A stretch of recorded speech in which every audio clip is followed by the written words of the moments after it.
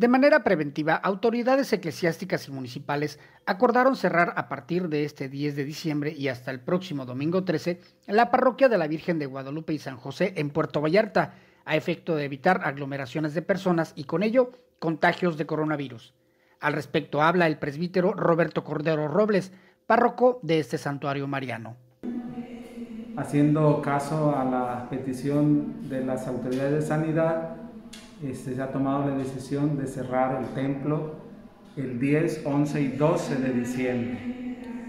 Como prioridad, tenemos el cuidar la salud de nuestros hermanos peregrinos. Por eso, desde hace varios días, hemos estado invitando a todos los feligreses a celebrar estas fiestas guadalupanas desde nuestros hogares, y nuestras casas.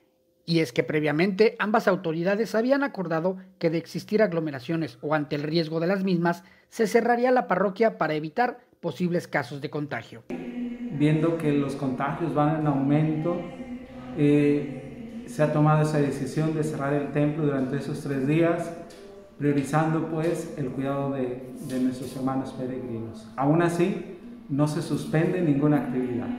Las fiestas patronales siguen en pie, son fiestas virtuales y queremos invitarlos a que se unan a nuestras celebraciones. La decisión tomó por sorpresa a los feligreses quienes año con año acuden en peregrinación a este santuario, que en suma llegan a ser más de 300.000 personas durante todo el docenario. Señal informativa Javier Frías.